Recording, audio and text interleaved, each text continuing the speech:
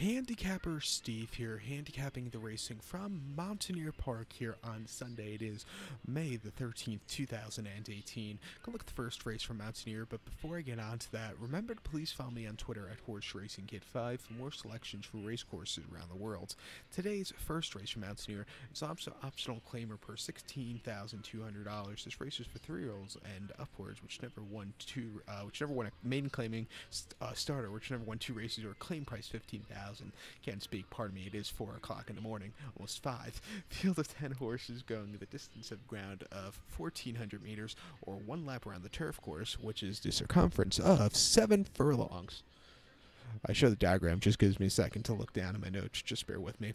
Top selection in this race. I like the number seven horse here. The number seven horse, Loyalty Spirit. I'm gonna go seven three five in the TriCast of the trifecta.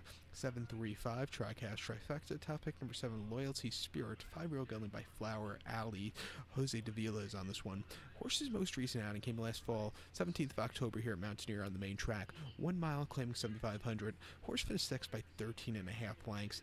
I think the turf is the this is uh, this horse's better surface. This horse just never really got there. Just wasn't this horse's day to win. Before that, on the turf locally, uh, one mile claiming 10. Horse finished third by half length a little bit wide. You know, if this horse saved some ground, I think this horse could have got a better position, maybe for second. I don't know if the horse could have beat the winner, but you know, if he, he just needed to save some ground, which he didn't that day. And then Mountaineer Mile 70 optional 15 claimer horse won by half length from from the uh, mid pack, went straight to the lead and didn't look back. A very nice victory for this horse. And then before that, this horse won at and claiming 15 here, Mountaineer one mile firm ground.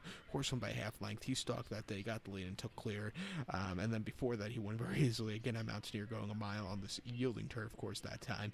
You know, he, he likes the turf. His better surface is at it. Uh, off the lap, I think he should run well. He has a decent workout a few weeks ago, so watch out.